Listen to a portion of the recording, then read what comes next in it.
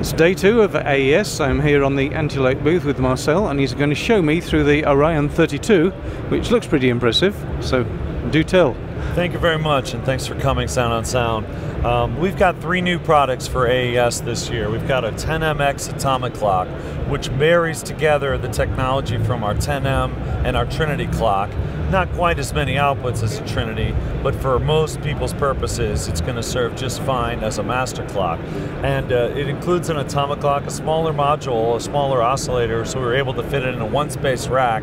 So we've basically been able to, for most users, shrink down a technology which required four, four rack spaces down to one at a much lighter, uh, lighter weight, and saving people some money along the way.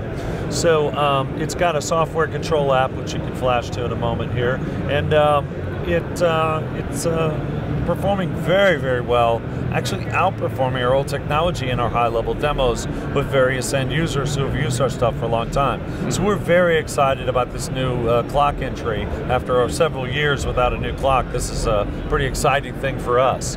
Um, also new is the new Orion 32 Plus, which adds to the Orion Thunderbolt uh, a really cool feature with the monitor output is you can hold one of these buttons and now you have front panel, front panel monitor volume control as well as software control and we're designing new apps for all, for all of this. So apps that looks like, look like these for the Orion Studio, which I'll talk about in a moment. So we're going to have uh, new control apps as well uh, for all of our products eventually that'll populate the entire line. The other thing that's new is uh, uh software has been updated for a new DSP that's housed in the Orion 32 Plus.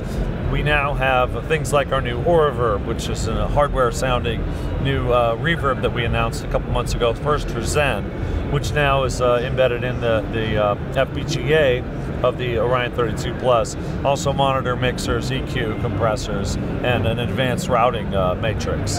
The brand new product on the interface side is again a marriage between technologies involving the Zen Studio and the Orion.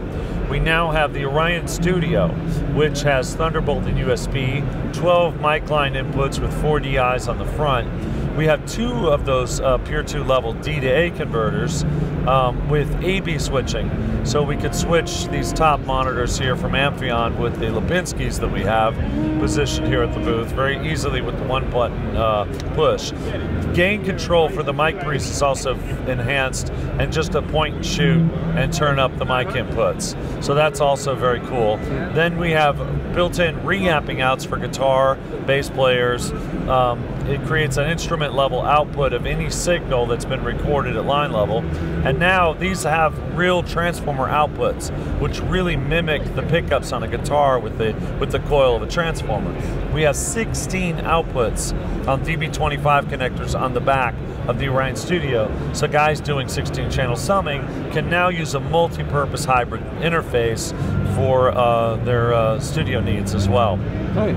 So you've been very busy. So when are all these available? Um, the 10MX is shipping in a couple weeks, around November 15th, and uh, as is the Orion 32 Plus. And then around the first week of December, 1st of December, we'll be seeing the Orion Studio. Do you have any pricing on those yet?